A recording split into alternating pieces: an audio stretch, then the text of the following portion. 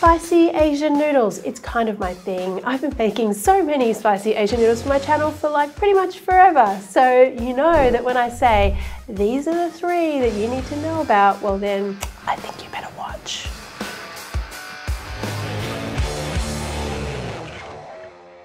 All right, so Bang Bang Chicken is a classic Szechuan dish, usually served cold, but with like this hot, numbing, tingling, spicy red sauce. Love it. But what I thought was, why not add some noodles? Because, you know, we just love noodles. I love noodles. Let's get into the chicken first of all. There's a little technique that I have here for poaching chicken, which is like button down, you know, perfect every time.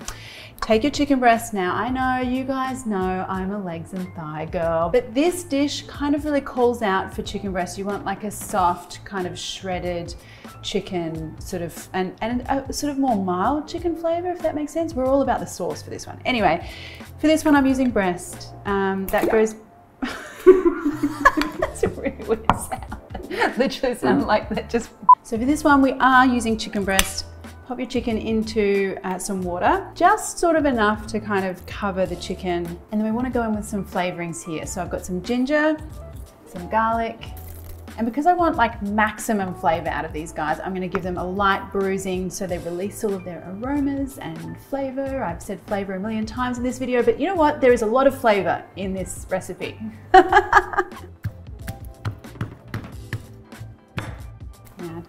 scoop those pieces out into that water. And then I also want some spring onion as well. Like I often have some spring onion kind of like kicking around in the bottom of my crisper. So it's a great way to use that up. You don't need the most perfect spring onion here because it's just for the broth. And now we've started with room temperature water, that's on purpose. Now I wanna turn the heat on because that's gonna give our chicken time to kind of gently warm through as the heat sort of gets higher and higher in that pot. So we're kind of just coaxing the chicken into being cooked without like kind of shocking it with like, you know, really high heat. And that's gonna give us a juicier chicken breast. So wait till this comes to a simmer and then I'll tell you what to do next. All right, so now that you can see those little bubbles, now I don't want you to get any further with the bubbles. I just want that really gentle bubbling here. Now you can let this go for eight minutes. So these are two 200 gram chicken breasts, just so you know the, about the size. Um, uh, so eight minutes. All right, so while that's happening, let's do our spicy sauce. Yes my favorite bit. Okay, what we need to do is talk about Szechuan peppercorns, which are in fact not peppercorns.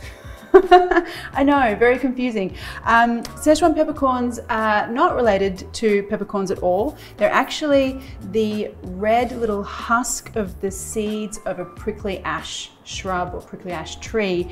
Um, and one of the things that's really interesting, guys, is when you're buying Szechuan peppercorns, have a look in here. Now, as I said, it's that red husk on, on, the outside that actually gives you all the tingling sensation and the numbing and the heat and that kind of citrus flavor that, that Szechuan peppercorns are renowned for.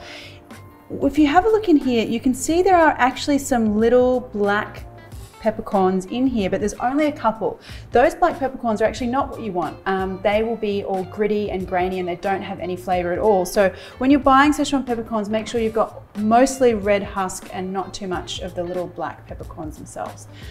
There you go, a little tip. Um, we want to get these toasting though, because that's going to release the most amount of flavor. Pop those into a dry pan. Now, a lot of you guys ask me where you can buy Szechuan peppercorns. Any Asian grocer is going to have them, but you know what?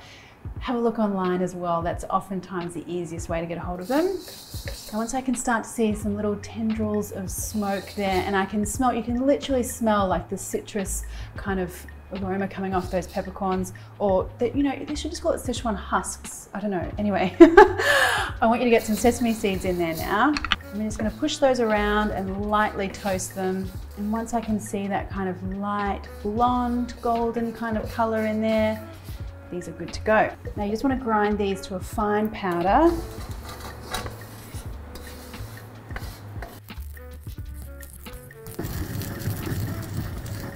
So this is the kind of situation you're after here, a nice fine powder into a bowl. Now to that, I want to add some soy sauce. And here's an interesting one. This is Chinese black vinegar. It has more of a kind of fruity note than a just straight out like white vinegar. Um, so Chinese black vinegar, if you can get it, if you can't, just do like half white, half balsamic vinegar. That works too. And some chili oil. So watch with the chili oil, different brands uh, will be spicier or less spicy. I don't mind if it's too spicy, so I go pretty hard with the chili oil.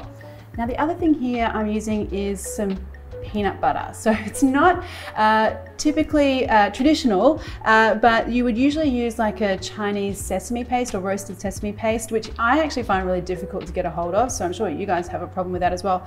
So I just use peanut butter, not quite the same flavor, but you get the same sort of nutty creaminess. And then because, you know, I'm me and I need more spicy things. And actually, you know, this dish really, it's, you know, the magic combo here is that positioning of the Szechuan peppercorn and the numbing and the tingling and really kind of spicy kind of heat. That's really where the magic happens in this dish. So do try to push it as far as you can. Uh, I'm gonna add some more chili flakes here, more spice. Now you're gonna need to, it's a little bit awkward to mix this one because of the peanut butter, but just kind of get in there, give it a whisk. I'm going to pour some hot liquid from the chicken poaching stock later so that'll help dissolve that peanut butter a little bit as well. So the chicken breast has had its cooking time. Now what I want to do is turn the heat off and just let that chicken sit in the hot water there for 10 minutes. That's another 10 minutes and it's just going to slowly cook through. Okay, so chicken has had its lovely warm resting time. What I want to do now is just scoop some of this stuff off the top and chicken pieces out and I want to get them straight into a water bath filled with ice. That's going to stop the cooking process, make sure that they don't overcook and get dry. And also it means that they're going to get nice and cold, so I'm going to be able to you know, shred them quicker. Now just take your cooled chicken pieces and just shred that up. Now back into our saucepan here, we have some lovely flavored cooking stock here. So let's just scoop out a little bit of that and that's gonna go into our sauce. And now we're coming to my favorite part, the bit where we get everything together. So I've got some noodles here. These uh, were dried udon noodles. Uh, I cooked them and then just rinsed them till they were nice and cool and tossed them in some sesame oil so they're nice and pliable. Want a little or a decent or a big handful of those and then some of your chicken on top. Some cucumber, I've just got some cucumber matchsticks that I sliced up here. And now that all important sauce. Now you want to be generous with that sauce. This is where all the flavor is coming from. I want almost like a little swimming pool of sauce in the bottom of the dish here. Now mix everything together. Oh, look at that sauce underneath. Mm.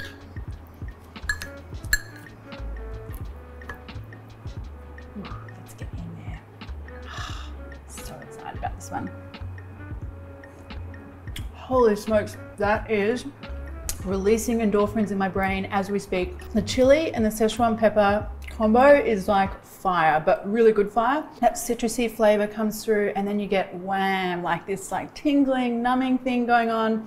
Literally, it's like, wow, wow, wow. It's like a wow moment chili garlic oil noodles, one of my all-time favorites. I've never made them in less than 10 minutes, so I'm gonna it a go today. It's a bit of a challenge day today, so we'll see how we go. Um, I've got a hack for a couple of different things here, so we'll go through that later, maybe. I mean, I probably should do it before the timer starts, but I don't know, we'll just go. 10 minutes, I've given myself 10 minutes, let's go, on the clock. Okay, so I'm gonna get the kettle on. I learned this from all the Jamie Oliver videos. You know, that thing that Jamie Oliver started doing when he was like, five ingredients, 10 minutes, and like boiling the kettle is better than boiling it on the pot. But I will get my pot heating up too. I learned from my 15 minute fried chicken video that I should not talk so much and just get the cooking done. Uh, we're out of time. Okay, let me see how much overtime we get. Which I haven't uh, quite mastered yet, but we'll see. Um, all right, so no, I don't need those yet. Uh, so the point with the chili garlic oil noodles is that you want to be making sort of like a mix here in your bowl uh, and then some hot oil goes on that a bit later on and that makes your sauce. So I'll pull my garlic out here and I want like, well, depending on what you like, I like my chili garlic oil noodles, right? So I want to taste all of those things. So I want quite a bit of garlic. I think I'm going to make like a two serve kind of situation. So what's that like? you know, four or five cloves of garlic. Yeah, that'll do. And then let's crush that. And I want quite a fine chop here. I got my, do you know what? This is what I need to do. I need to do this. This. Okay, this will make the skins come off quicker. Right. That's an old Asian mum thing.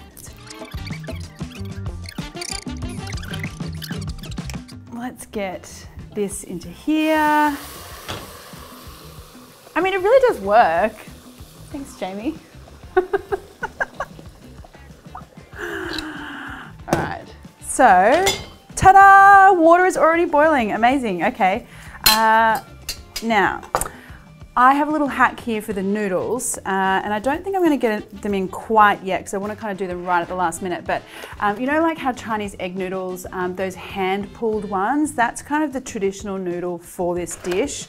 Uh, but they take hours. I mean, I do have a video on how to make them, but that's not really going to help you out in a 10 minute noodle dish challenge. So what I thought was instead of using the traditional hand pulled wheat noodles, I would use like a fresh pappardelle kind of noodle or a pasta. So this is not fresh pappardelle because I couldn't find it at my supermarket, um, but it's dried. So I think this is going to work out nicely because you still got those thick, that kind of thick, wide noodle situation, which I think will work out well. But we'll see.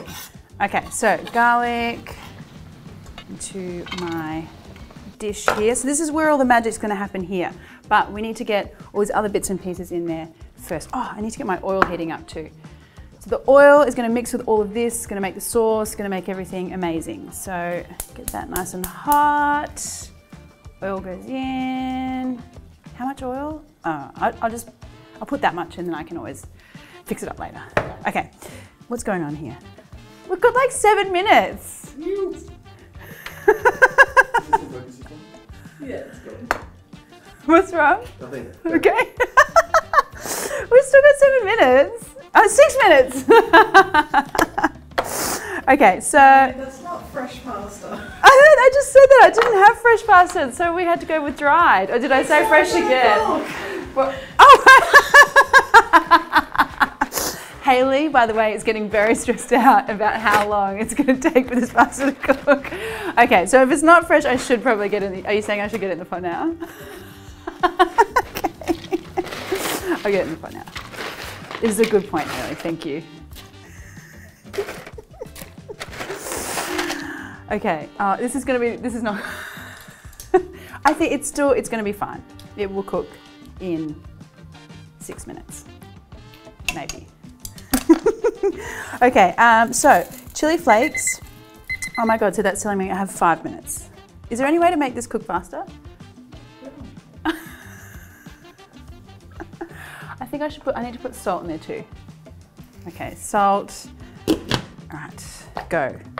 Okay, I'm gonna, well, I think, I think that's enough chili flakes because I want to put some chili oil in there as well a bit later on. I've got sesame seed, oh, which camera? This camera. I've got sesame seeds.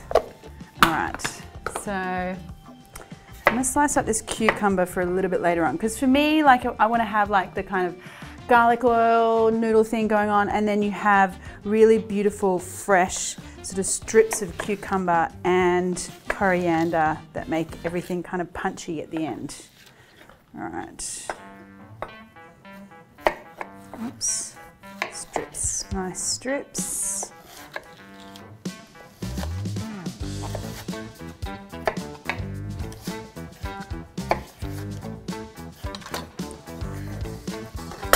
Okay, so that is like kind of for the end. Could have done a better job of slicing there. Anyway, we're in a rush, aren't we? We're in a rush. Okay. Um, what else do I need? I might put some of my coriander stems into this business here because you kind of get a really good flavour from those stems. All right, that's good. Oh, oh, what's happening there? Let's have a look in here. Oh yeah, that's looking good. Great. See, that's the kind of thing that I wanted. I wanted a really like wide kind of pasta thing. Well, I wanted a wide noodle kind of thing going on. So hopefully that will work. All right, so this, uh, what do I need? What do I need? I need chili oil. Chili oil. Um, let's see. I've got chili oil, I've got chili crisp. I'm kind of running low on my chili oil here, so I might do a bit of both. Let's see. So if you want the recipe for this chili oil, you can find that on my website, um, or you can use a store-bought one as well. That's totally cool. Oh, look at the color, it's great. The point is that that oil has some beautiful spices and Szechuan peppercorns in there. So you're getting like that kind of like numbing spicing kind of thing going on. Numbing spicing, numbing spicy thing going on. Okay, I'm gonna put some chili crisp in there too. Why not? Clean spoon. Keep it clean. Although it's, it's a lot messier than when I usually cook. Anyway, okay, I'm gonna put some of this in there. I mean, look at that. That looks incredible. Yum, I'm already really excited. The other thing about the sauce for this is, wait, do I want to put the, do I want to put oil? Oh no, no, I'll put this stuff in. Okay, soy sauce. Oh my God, two minutes, okay. Two minutes. Vinegar. So this is a Chinese black vinegar, but you could just use like a, a little bit of balsamic and white vinegar if you can't get the black vinegar and a little dash of dark sweet soy sauce. Okay, give that a mix. All right. Now, I think that's hot. Just let me check. Oh yeah, that's hot. Okay, oil is hot. So this is gonna be dramatic, hopefully. so this gets poured on. Oh, it wasn't quite, oh, I mean, it wasn't like hugely dramatic, which I guess is good. It didn't like burn anything, so that's good. But you want that little bit of sizzle, definitely. Let me see. Oh, that looks so good. Check that out. Okay, so now, now we are just about noodles, everyone. Okay, I think these are looking good. I need like, oh my God, I have one minute. One minute. Okay. Straight in.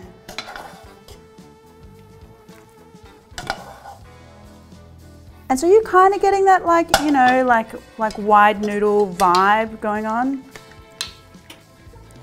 Okay, I definitely, oh, I want some of my cucumber in here. Definitely want some of my coriander here. Oh. You know you're rushing when you can't even use chopsticks. And there you go. I mean, the timer hasn't even gone off. Look at that. We're done. Look at these noodles. Oh. Spicy. Yum. Amazing. Yay! So happy with myself. Haley's like, why are you gonna be so messy? I tried. Let me see. Mm. Okay, so the pasta probably could have done like with another like two minutes. but it's still really good. And they're just al dente. I mean, you know, they're still great noodles. Um, a really good hack for like Chinese wheat noodles. And that sauce is so delicious. Oh, I'd call that a win. I think it's a win. Mm. That was a really messy noodle eating just then. Fantastic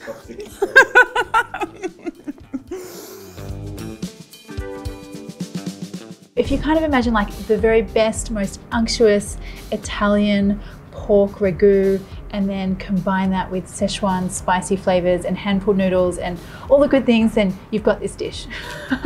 okay, let's get started on the sauce first of all. So this is the simple part. We want some oyster sauce some soy sauce, some dark soy sauce, sugar, and just a little dash of vinegar here. So if you can get a hold of Chinese black vinegar, that would be the best one to use. I've just got some regular rice vinegar here and just give that a mix. Now the porky sauce part of this dish is totally not traditional at all, but it's really tasty, just trust me. On this one, I'm gonna heat up a wok or a large frying pan, add some oil, And then here's our very first non-traditional ingredient and that is some cherry tomatoes. Now stand back because this is gonna splash a little. Now what you want to do here is really blister those tomatoes. I want them to get all caramelized and charry on the outside. And that's when they'll release all their sweetness and flavor. So we're kind of like wok roasting, I guess, rather than oven roasting. Okay, now see that color on that tomato? That's exactly what we want. And why tomatoes? So tomatoes have a natural amount of glutamates, which is flavor and umami and all those good things. Now I'm gonna add some garlic and some ginger. Now I'm gonna go in with some spices, some ground Szechuan peppercorns. These guys are gonna give a beautiful numbing sensation and a very high kind of citrus note to them. And some chili powder. And now here's the next non-traditional ingredient and that is sweet paprika. This is gonna give us a beautiful red color without flavoring the dish too much. It's really good if you don't wanna use a heap of chili powder because you can keep it really mild. Now for the pork.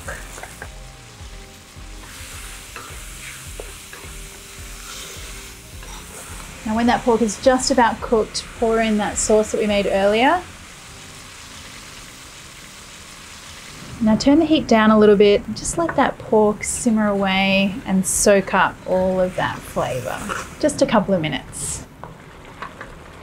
Okay, so this pork is looking good. You guys will not believe the amount of intense flavor we have in there in such a short amount of time. I'm just gonna turn this off for a minute and let's go talk about our noodles. So I've got some hand pulled noodles here. You can find the video on how to make these on my YouTube channel. They're at the point now where I wanna stretch them a little more as I put them into the boiling water. Now you just wanna stretch these out straight into the water and these noodles are kind of like a very rustic, hearty, chewy, beautiful texture to them. Uh, they kind of remind me, I guess, of like an Italian pappardelle or a fresh Italian pappardelle. Uh, so if you did want to use a pasta or an udon noodle as well, that would be a good substitute. You don't have to go the trouble of making these from scratch, although it is worth it.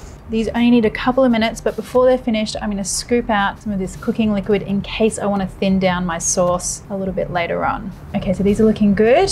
Take them over to my sauce. Turn that heat on under the sauce and get those noodles in there.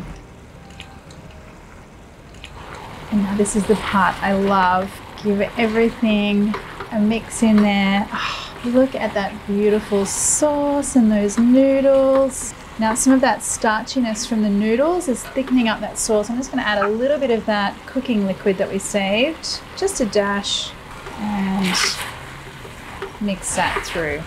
Oh, smell right now, so incredible. Now just pop this out onto a serving plate.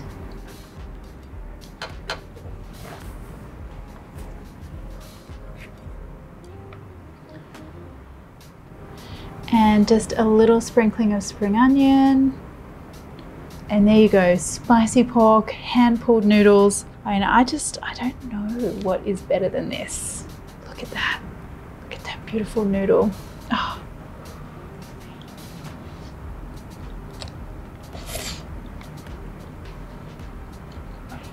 The flavor of the Szechuan peppercorn and that beautiful, that little bit of tanginess from that vinegar really comes through.